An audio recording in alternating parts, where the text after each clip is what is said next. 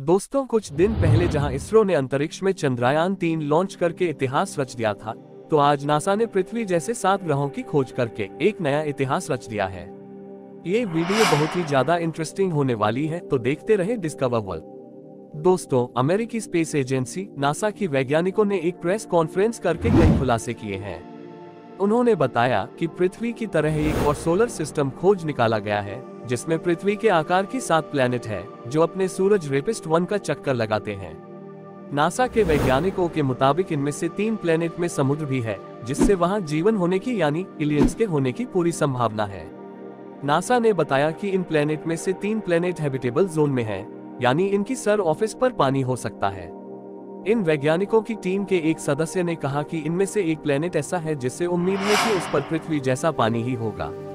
NASA ने बताया कि उनकी स्पिट्जर स्पेस टेलीस्कोप ने रिकॉर्ड तोड़ खोज की है। इसके ज़रिए सात नए ग्रह खोजे गए हैं।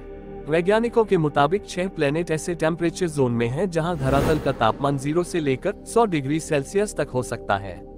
वैज्ञानिकों के मुताबिक ये सभी प्लेनेट अपने छोटे स्टार ट्रेपिस्ट वन का चक्कर लगाते हैं। ट्रेपिस्ट वन हमारे जुपिटर ग्रह से थोड़ा ही बड़ा है और इसकी रोशनी हमारे सूरज से 200 गुना कम है। उनके मुताबिक जब सूरज का ईंधन खत्म हो जाएगा, तब हमारी पृथ्वी खत्म हो जाएगी, लेकिन तब भी यह सोलर सिस्टम मौजूद रहेगा, क्योंकि उनके सूरज टाइपिस्ट वन में हाइड्रोजन बहुत धीमी गति से जल रहा है। यानी वह ब्रह्मांड की मौजूदा उम्र से 700 गुना ज़्यादा चलेगा, जो कि जीवन डेवलप करने के लिए काफ़ी है। साइंटिस्ट का कहना है कि जब भी सूरज के पास प्लेनेट की खोज कर रहे थे, तब 2010 में ट्रैपिस्ट वन स्टार का पता चला था, और तब से उस पर नज़र रखी जा रही थी।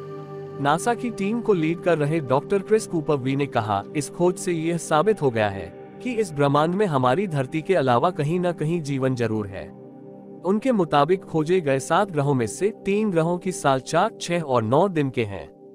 यानी ये तीनों प्लेनेट अपने सूरज ट्रपिस्ट वन का चक्कर चार, छह और नौ दिन में पूरा करते हैं, और ये तीनों प्लेनेट से हल्की हैं। उनके मुताबिक इसे साइंस की फ़ील्ड में सदी की सबसे बड़ी खोजों में गिना जाएगा।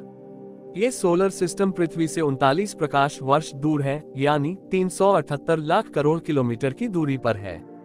खगोलवेदों का कहना है कि सात ग्रहों वाले सौरमंडल का पहले भी पता लगाया जा चुका है, लेकिन ये पहली बार है जब पृथ्वी के आकार वाले, इतने ग्रहों वाले सौरमंडल का पता चला है। बेल्जियम यूनिवर्सिटी ऑफ़ लीड्स के एक लेखक माइकल गिलेलन का कहना है कि ये सारे ग्रह एक दूसरे के करीब है। साथ ही ये सातों ग्रह अपने तारों से काफ़ी नज़दीक स्थित है और इनकी स्थिति जुपिटर के आसपास मौजूद चंद्रमाओं से काफ़ी मिलती है। दोस्तों, शोध का अगला चरण शुरू हो चुका है।